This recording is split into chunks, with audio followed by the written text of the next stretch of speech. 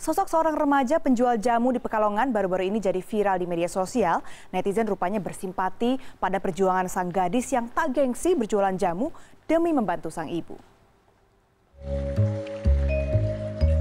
Inilah aktivitas pembuka pagi Opi Windasari. Saat remaja seusianya bersantai di hari libur, gadis 16 tahun warga Banyurip, Pekalongan Selatan ini justru harus tetap berjuang di saat luang menjajakan jamu yang disiapkannya sejak pukul 3 dini hari. Usai mengemas jamu dalam botol, dengan sepeda tuanya, Opi pun siap berkeliling menjual jamu. Opi berkeliling ke hampir seluruh pelosok selatan Pekalongan. Meski menjalaninya dengan hati yang riang, sepeda ontel yang tak dilengkapi tiang penyangga diakui jadi beban bagi Opi. Ia harus menahan bodi sepeda bermuatan jamu saat melayani pelanggannya. Kenapa jualan jam?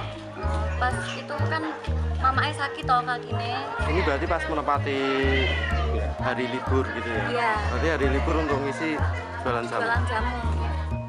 Sakit di kaki memang jadi kendala bagi Rubiem, Ibu Opi, berkeliling menjajakan jamu. Wanita asal Solo ini memang sudah 25 tahun terakhir berjualan jamu keliling demi menafkahi keluarga setelah ditinggalkan suaminya saat Opi berusia 3 tahun. Kalau yang ini yang jualan jamu itu yang nyuruh itu ibu atau opinya sendiri? Opinya sendiri. Hmm. Gitu. Gimana ceritanya?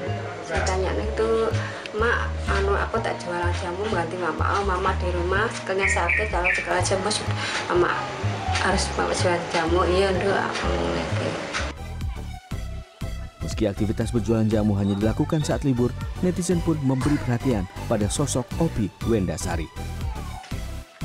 Terlebih Opi yang masih duduk di kelas 12 Madrasah Aliyah Hidayatul Atfal Banyurip mengaku tak malu meski harus berjualan jamu. Sejak kecil, Opi dikenal sebagai sosok yang mandiri. Opi juga membantu ibunya mencari nafkah dengan berjualan jajanan di rumah.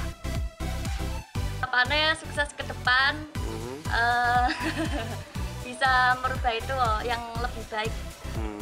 Kalau Mbak Opi sendiri cita-citanya apa sih? Cita-citanya terlalu tinggi sih pramugari pak. Pramugari. Ya niat dan semangat Opi membantu ibunya memang tak setengah hati.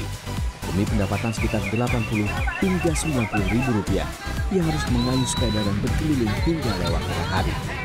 Opi pun menuai simpati dari pelanggannya. Jual jamu kayak gini gimana? Komentarnya?